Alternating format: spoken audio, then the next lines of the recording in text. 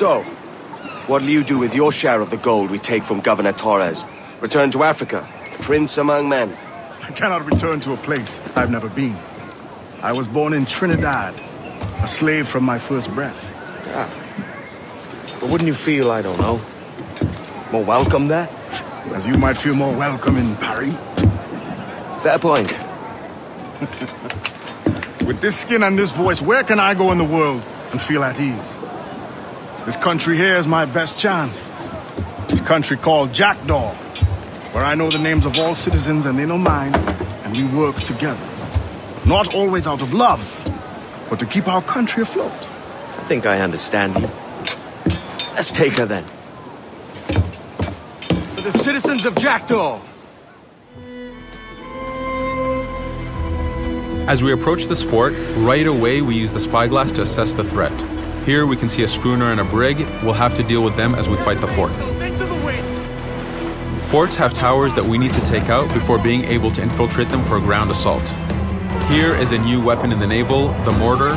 It is great against fort towers, does a lot of damage, and obviously you don't have to worry about guiding the shot.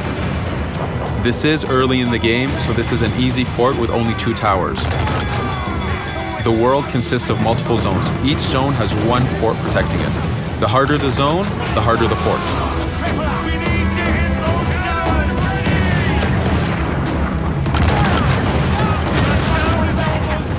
We've managed to take one tower down.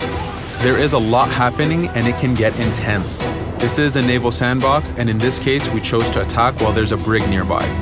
This could have easily happened at night, or during a hurricane storm with waterspouts and 30 foot waves. There could have been a bigger military presence. There is a lot of variety and a lot of different experiences that you can have in the naval.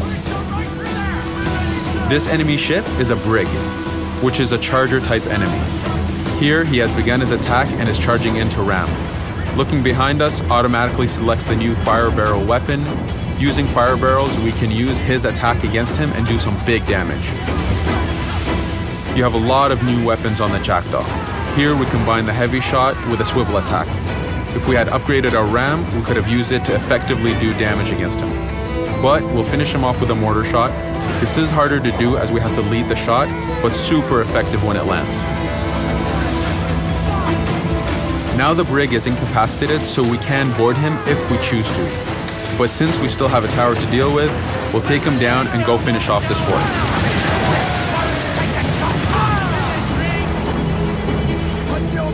Even though we've weakened the fort, these towers still do a lot of damage, so we still have to brace to defend ourselves.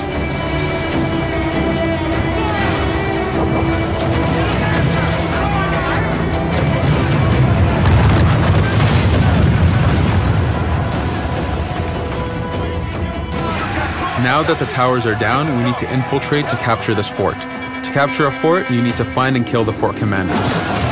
Seamlessly, we go from the naval straight into the fort tower we just destroyed.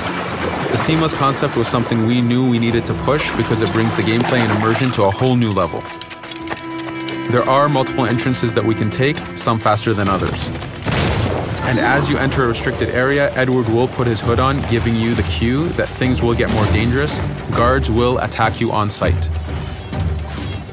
Here, the battle's already started, taking advantage of the chaos, will rush in and find the commander. Edward is a very agile pirate and an assassin. Using his free running, we can easily scale the fort and find the commander. And there he is. Using the new free aiming, we can headshot his guards. This is something new in Assassin's Creed games. Now that we're close, we'll use our running assassinate to take him out and take the fort. Taking forts gives lots of rewards. It unfogs the map and shows the nearby locations. It unlocks side missions, shops, treasures, and collectibles. All things that help with the progression of Edward and the Jackdaw. And the best thing about taking a fort is that it's yours. It will attack enemy ships and protect you. Well, hello, Your Excellency. I'd got word you might be here. I know your face, pirate, but your name was borrowed the last time we spoke. Ah, yes, I recall. I missed that one. So, what's a Templar Grand Master doing so far from his Castillo? I'd rather not say. And I'd rather not cut your lips off and feed him to you.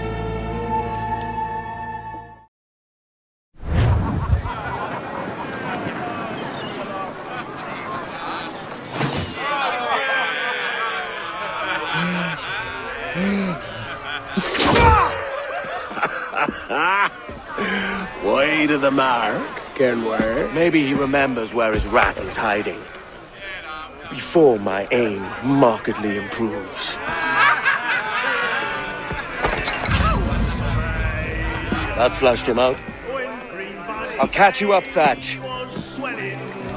There's no drinking after death, lads.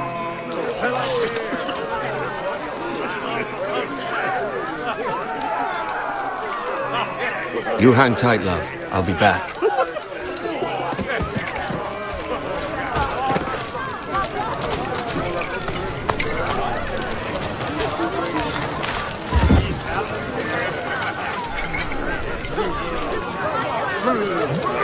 I'll come back for your coin later, lads.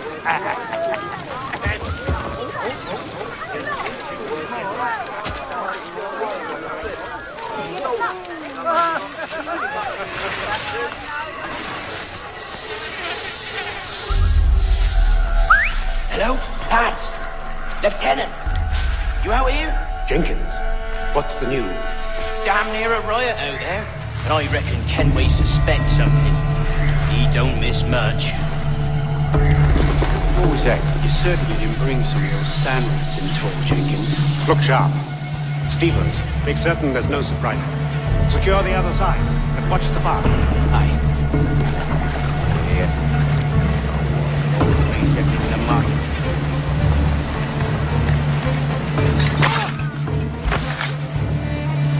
Stay here. Shoot anything that moves. Yes, sir. Come on. It's time. Tell me about the meeting. A fair gathering, sir. Most too drunk to stand. That will suit our purpose. But for a moment I'd die there. Bloody savages. Have no fear, soldier. This will be the end of them. What about our man? They've been pressing him hard all night. But he's not broken yet. Good.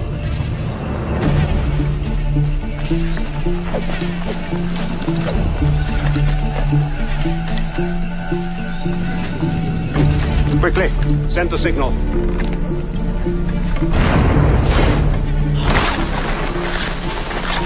Get him!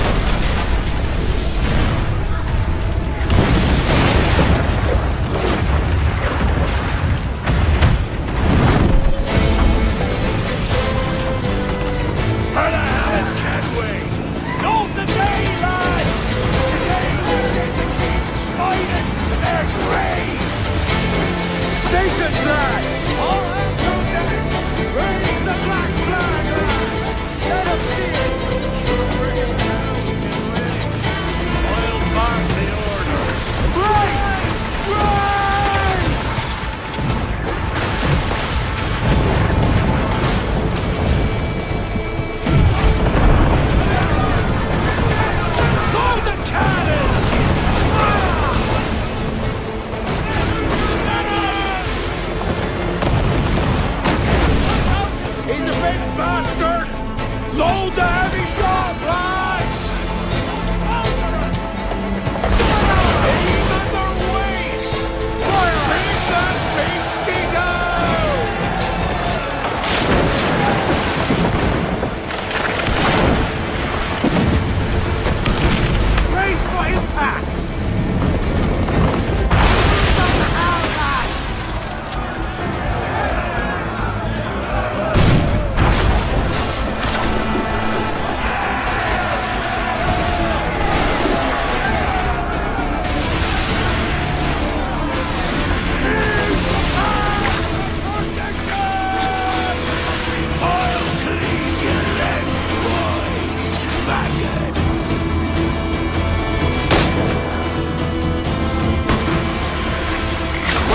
remembered, mate!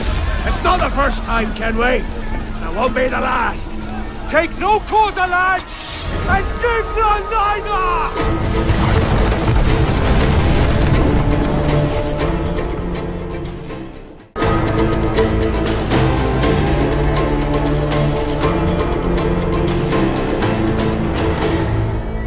At this point in the story, we're going after a man named Julien du Casse, an arms dealing Templar. To get him, we're gonna head to Havana to build up Edward, but on our way, we're gonna let ourselves get distracted by this unidentified cavern. To access this specific cavern, you need a diving bell. The diving bell is a real 18th century device that sailors and pirates used to access deeper waters, shipwrecks filled with treasures, and secret entrances to caves and cenotes. Here, you're getting a little taste of the underwater. A lot of ambient life, predators, fish, a very lively and dense environment, and this is something that we're really able to push with the next gen, to have this really incredibly dense and detailed environment.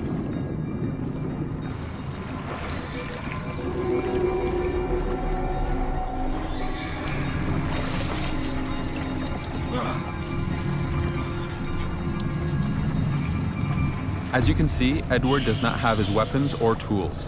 This is the risk you take when you access the underwater caves.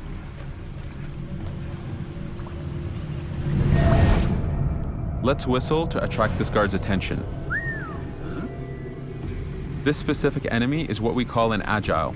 They carry blades. Taking him out allows us to take his blade and use it for ourselves. We've also enhanced the Eagle Vision so that you can tag enemies and see them through walls. It's important for us to push the stealth and make it a viable way to play this game if you choose to.